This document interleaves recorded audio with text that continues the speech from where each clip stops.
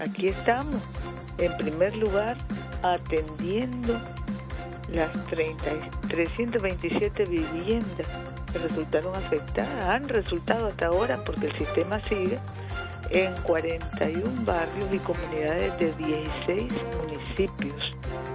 Esto sobre todo en Carazo, en Riva y San Rafael del Sur aquí en Managua, también en Buaco. Son 322 viviendas anegadas y cuatro con daños parciales, una destruida.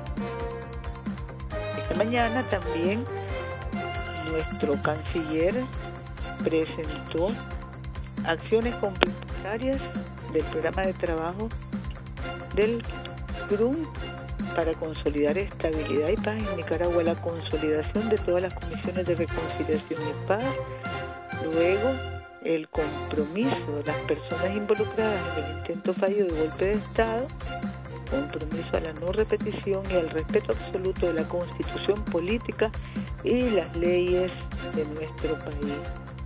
Elaborar de manera inmediata el plan integral de atención a las víctimas para proporcionar la reparación integral necesaria a ellos, a sus familiares, por los daños causados.